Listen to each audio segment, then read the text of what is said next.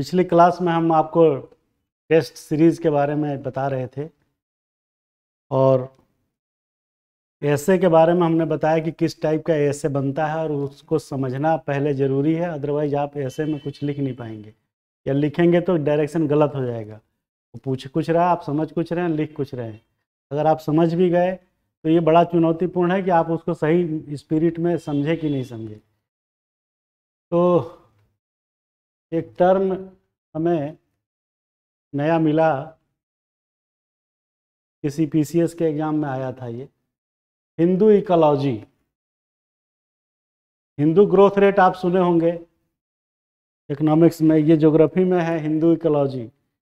इसका क्या मतलब है? इकोलॉजी का मतलब तो आप जानते हैं कि जिस इकोसिस्टम में ऑर्गेनिज्म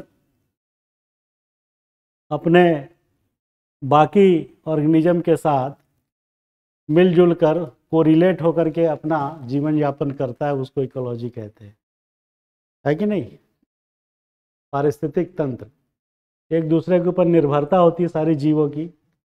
अगर उसमें इम्बैलेंसिंग हो जाए, जैसे मेडागास्कर में, वो छोटा बंदर चैपिलियन की जो विद्यमानता है, वो धीरे धीरे विलुप्ति होने के कगार पे है। इकोलॉजिकल इम्बैलेंस हो रहा है। इकोलॉजिकल बैलेंस इम्बैलेंस क्यों होगा? जब जो, जब आप पारिस्थितिक तंत्र में उन सब की भूमिका को आप स्पष्ट नहीं करेंगे और एक दूसरे पर निर्भरता को अगर आप नहीं बनाए रखेंगे तो इकोलॉजी जो है पारिस्थितिक तंत्र गड़बड़ होने लगेगा। तो ये हो गया इकोलॉजी। हिंदू का मतलब आप जानते ही हैं।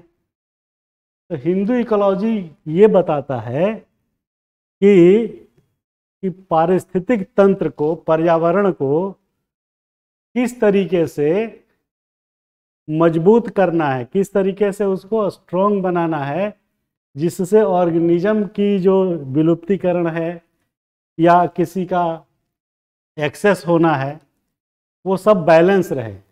अब आप समझिए कि ज़्यादा जीव जंतु वहाँ हो जाएँगे और उसको खाने वाला कोई और नहीं होगा तो उसकी तादाद कितनी हो जाएगी? और ह्यूमन सेटलमेंट जहाँ पे है, उसके साथ अगर इम्बैलेंसिंग होता है तो सोचिए ह्यूमन बींग की क्या दशा होगी। मच्छर इतना पनप जाए, उसको खाने वाला कोई और ना हो, लार्वा इतना पनप जाए, जिसको खाने वाला कोई और जीव ना हो, अब आप सोचिए कि क्या स्थिति होगी आपके रहने की। घरों में मच्छर, मक्खी और ये सब कॉकरोच ये सब चीज़ें जो अगर ज़्यादा हो जाए तो आपको रहना मुश्किल कर देगा। तो that is balancing of ecosystem by by food chain एक दूसरे को सब खाते हैं ए बी को खाता है बी सी को खाता है सी डी को खाता है डी ए को खाता। है तो ये सिस्टम ज़रूरी है। और हिंदू इकोलॉजी का मतलब क्या है कि इकोलॉजी के क्षेत्र में जो जो चीज़ें हैं, जैसे पेड़ है, पौधे हैं छोटे बड़े, फूल है, कोई जीव जंतु है है कि नहीं? और पानी है, आकाश स्थिति जल पावक गगन, समीरा, हवा, आग क्षितिज, जल, पावक, गगन, समीरा। क्षितिज हो गया अच्छा आसमान और उसके बीच जो पृथ्वी का जो मिलन बिंदु दिखाते हैं। पृथ्वी और शाम को जो दिखता है ना, सूरज डूबते हुए। तो अब आप समझ गए हिंदू इकोलॉजी क्या है? कि हिंदू धर्म की मान्यताओं का जो वैज्ञानिक आधार है, उस आधार को मान करके ऑर्गेनिज्म को सिस्टम में, पारिस्थितिक तंत्र के ऑर्गेनिज्म को जीव जंतुओं को किसी भी तरीके से नष्ट न करना। क्योंकि नष्ट करने से पूरा बैलेंस जो इकोसिस्टम का ख़राब हो जाएगा, जैसे हमने आपको बताया कि अगर बैलेंसिंग ख़राब हो तो मच्छर मक्खी इतने घर में हो जाएँगे तिलचट्टा कितने घर में हो जाएँगे कि आप उसको संभाल नहीं पाएँगे, भागना पड़ जाएगा। पेड़ पौधे ना हो तो ऑक्सीजन की दिक्कत होने लगेगी। है कि नहीं? तो इसीलिए पेड़ पौधों की पूजा होती है अपने हिंदू परंपरा में। आपने देखा होगा बट वृक्ष, पीपल की पूजा, तुलसी की पूजा, ये सब क्या है? हिंदू इकोलॉजी में मान्यताएँ इसको दी गई है कि ये हमारे लिए जो है फ़ायदेमंद है और इनका वैज्ञानिक आधार है। जैसे कि क्षिति जल पावक गगन समीरा पंच तत्व से बना शरीरा। तो हम लोग पानी की भी पूजा करते हैं, आकाश की भी करते हैं, वायु का भी करते हैं और अग्नि का तो करते ही हैं, पृथ्वी की भी पूजा करते हैं। पृथ्वी को हम अपनी मदरलैंड मानते हैं। तो आपको ये समझ में आ गया कि हिंदू रिचुअल्स में जो चीज़ें दी हुई है, जिससे पारिस्थितिक तंत्र जो है संतुलित रहता है, उस एक्टिविटीज़ को करना हिंदू इकोलॉजी कहलाता है। मतलब कि हिंदू धर्म की मान्यताओं को आधार बना के उसका व्यवहारिक उपयोग करना जिससे कि पारिस्थितिक संतुलन बना रहे that is called Hindu ecology.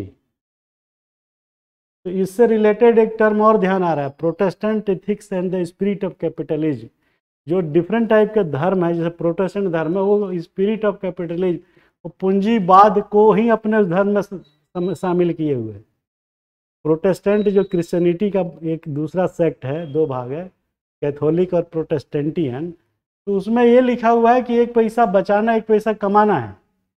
और किसी को पैसा मुफ़्त में नहीं देना चाहिए बिना ब्याज के। और ब्याज भी लेने से पहले कोलेट्रल सिक्योरिटी ले लेना चाहिए। ये उनके एथिक्स में लिखा है।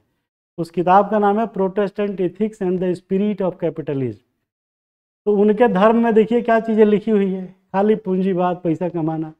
हम हमारे हिंदू धर्म में क्या लिखा है? सुबह उठ के धरती को प्रणाम करो। नहाते समय जल दो सूर्य को। हाँ वायु देवता को भी पूजा करो। तो हमारे यहाँ क्षिति जल, पावक, गगन, समीरा जो है, ये हमको ये शिक्षा देता है कि हम अपने पर्यावरण की रक्षा अपनी मान्यताओं के साथ कर देते हैं। उसी तरीके से इसमें जो जीव जंतु हैं, आपने देखा होगा मैक्सिमम लोग जो है शाकाहारी है। तो ज़्यादा से ज़्यादा लोग मांसाहारी ना बने, जिससे उनका पशु पक्षियों का भी जीवन बचा रहे। इसके लिए तमाम आंदोलन चलता रहता है सुधार, सोशल रिफॉर्मर्स के द्वारा।